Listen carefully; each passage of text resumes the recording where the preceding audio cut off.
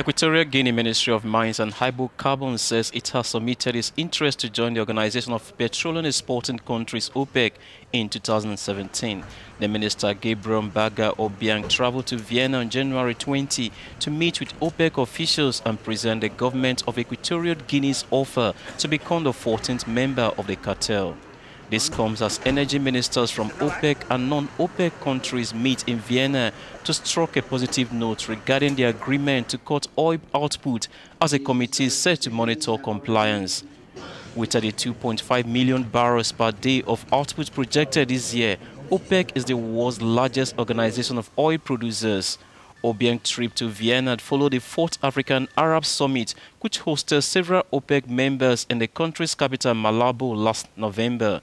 Equatorial Guinea is the third largest oil and gas producer in sub-Saharan Africa, with its $10.6 million of annual oil and gas exports accounting for 95% of the country's total exports.